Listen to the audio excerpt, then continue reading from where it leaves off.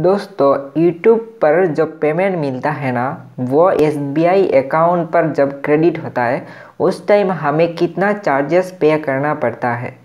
तो दोस्तों, ये बेसिस तब होता है, जैसे कि मान लो आप किसी भी बैंक पर ही हो जाए आपका अकाउंट तो वहाँ पर आपको डॉलर जब एक्सचेंज किया जाता है, वहाँ पर अलग अलग सा टाइप्स ऑफ़ का चार्जेस होता है दोस्तों, ठीक है? किसी दूसरे बैंक का हो सकता है फोर परसेंट चार्जेस किसी एक बैंक का हो सकता है कि वन परसेंट चार्जेस ठीक है?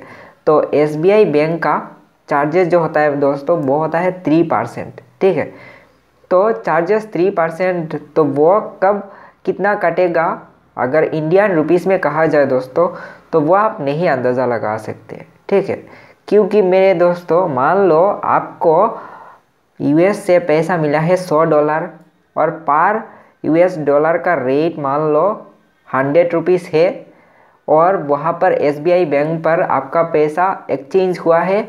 यूएस डॉलर का करेंसी चेंज होकर इंडिया का करेंसी में आया है। तो आपको तो पैसा देना होगा चार्जेस, ये तो सही है। और वहाँ पर मान लो थ्री परसेंट नहीं वन परसेंट चार्जेस है। तो आपको पार डॉलर में आपको कितना पैसा देना होगा? पार डॉलर में आपको वन रुपीज़ करके देना होगा। यानी सौ डॉलर को एक्सचेंज करने के लिए आपको चार्जेस देना होगा हंड्रेड रुपीज़ दोस्तों, ठीक है? तो मान लो आज से कुछ दिन बाद यूएस डॉलर का रेट बढ़कर हो गया टू हंड्रेड रुपीज़ ठीक है? तब क्या होगा? आपका जो पैसा है, उसमें चार्जेस तो वन परसेंट ही लगेगा, पर उस टाइम आपका टू हंड्रेड रुपीज़ का वन परसेंट हो जाएगा दोस्तों टू रुपीज़ ठीक है?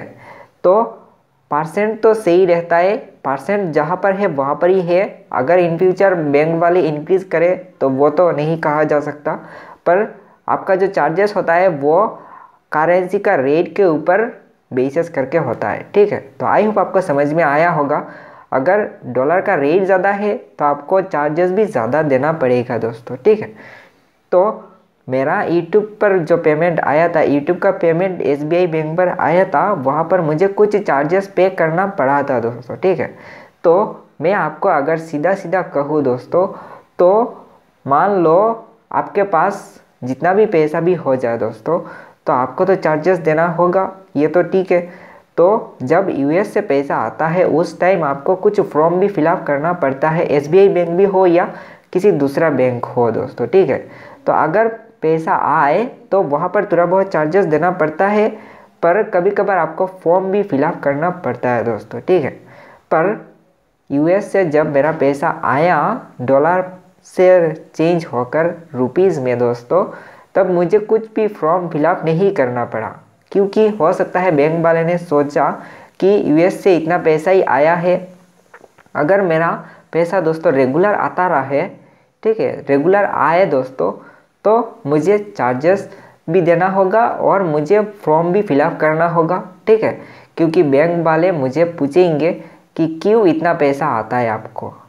आपका बैंक पर क्यों इतना पैसा आता है दोस्तों, ठीक है? तब मुझे बताना होगा कि इस रीजन्स के वजह से मुझे पैसा मिलता है बैंक पर तो उसके बाद मुझे रिक्वायरमेंट डॉक्यूमेंट देना होगा। तो जो रिक्वायरमेंट डॉक्यूमेंट होता है दोस्तों, वो कौन कौन से देना होगा? आपका जो एयरसेंस का पिन आया था, उसका जेरक्स कॉपी आपको देना होगा, उसका फ्रंट पेज का और उसके बाद आपका यूट्यूब चैनल का एक स्क्रीनशॉट लेकर आप उसको जेरक्स करके या तो प्रिंट आउट करके आप वहाँ पर सबमिट कर सकते हो और वहाँ पर एक फॉर्म दिया जाता है, उसको फिलअप करके आप दे सकते हो दोस्तों, ठीक है? तो इसमें कोई दिक्कत का बात नहीं है। तो आप बात कर लेते हैं कि मुझे कितना चार्जेस देना पड़ा दोस्तों। तो मुझे दोस्तों चार्जेस देना पड़ा। पार डॉलर में मुझे टू रुपीज़ करके चार्जेस देना पड़ा दोस्तों। यानी टू रुपीज़ नहीं है टू रुपीज़ ट्वेंटी फाइव पैसा है दोस्तों, ठीक है?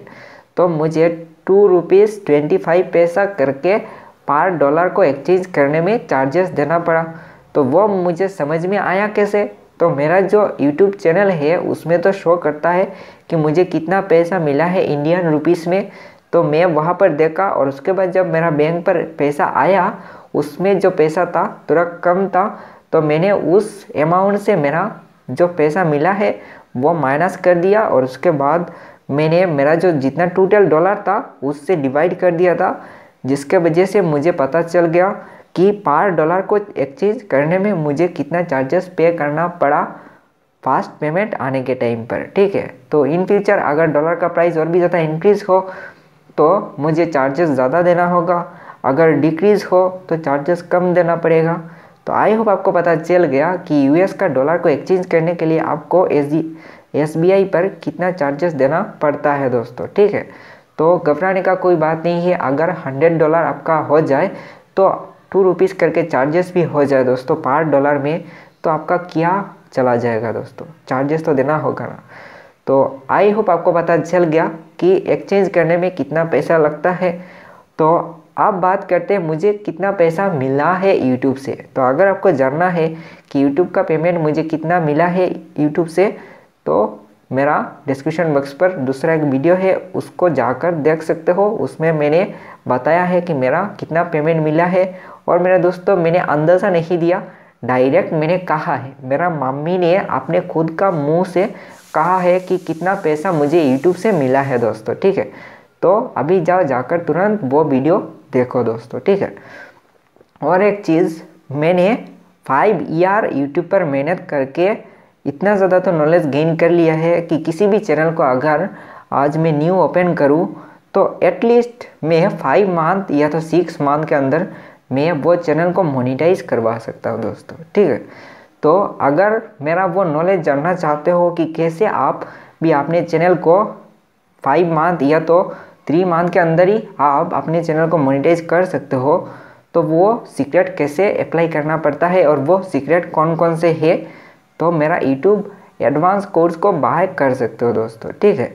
तो उसका लिंक मैं डिस्क्रिप्शन बॉक्स पर दे दूँगा और इसका जो प्राइस है दोस्तों, वो सिर्फ़ नाइन्टी नाइन रुपीज़ है। कभी कभार one hundred ninety nine rupees हो जाता है। तो अभी के टाइम पर यूट्यूब का फास्ट पेमेंट मुझे मिला है, जिसके वजह से कह सकते हो कि ऑफ़र है आपको कि 50 परसेंट डिस्काउंट है। अभी जाओ जाकर आप उस कोर्स को बाय कर सकते हो। सिर्फ़ हंड्रेड रुपीज़ इन्वेस्ट करके मेरा खुद का सीक्रेट जान सकते हो दोस्तों, ठीक है? तो फ़िलहाल आज के लिए इतना ही। मिलते हैं किसी नेक्स्ट वीडियो पर। तो आज के लिए इतना ही। मेरे को बेस्ट गुड बाय